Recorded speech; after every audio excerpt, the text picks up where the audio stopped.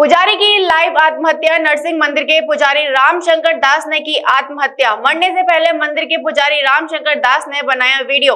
Social media पर video बनाकर किया आत्महत्या को लाइव। रायागंज चौकी इंचार्ज और सुरक्षा में तैनात सिपाही पर लगाए गंभीर आरोप। जनवरी माह से मंदिर के महंत भी हैं लापता। पुलिस अभी तक नहीं लगा सकी है मंदिर के लापता महंत का पता।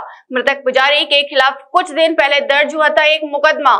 एक रामशंकर दास एक व्यक्ति है एक आश्रम से वहाँ रहता था वो सुबह पुलिस को सूचना मिली थी वो कल शाम को से दिखाई नहीं पड़ रहे थे बाद में पुलिस वहाँ मौके पर जाके देखा था उनका कमरा में आ, मकान का बाहर और अंदर दोनों ताला अंदर बंद था अंदर कुंडी से बंद करके बंद कमरा मिला था उसके बाद पुलिस सीनियर अधिकारी सब लोग गए थे S P C T C वो और फोरेंसिक टीम और मजिस्ट्रेट साहिबान भी मौके पर गया था सभी उसके वीडियोग्राफी साथ उसको खोल के देखा हम लोगों ने उस पर वहाँ पर उनका आ, आ, अपने खुद का जो कपड़ा है, उससे उन्होंने टांग के मिला है और उसको पुलिस ने तुरंत उसका डेड बॉडी का कब्जा में लिया है। हम लोग कब्जा में लेने के बाद उसका डेड बॉडी पोस्टमार्टम के लिए भेज दिया है। उसका पैनल का पैनल के माध्यम से उसको पोस्टमार्टम करेंगे और बाकी पूरा तलाश लिया है। वहाँ को ऐसे कोई सुसाइड नोट में नहीं मिला। फिर प्रथम दृष्टि में उसके दिखाई पड़ रही है।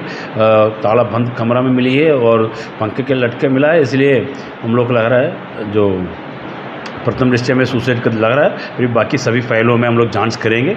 जाँच के बाद आगे सच्चाई वेरीफाई हो जाएगी।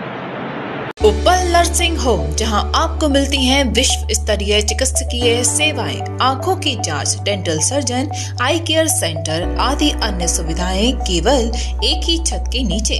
उपल नर्सिंग होम जहाँ के प्रमुख डॉक्टर्स हैं Vishal Uppal doctor Jayati Uppal doctor Veena Uppal doctor R K Uppal Uppal nursing home Shankar Vihar bank colony Mathura.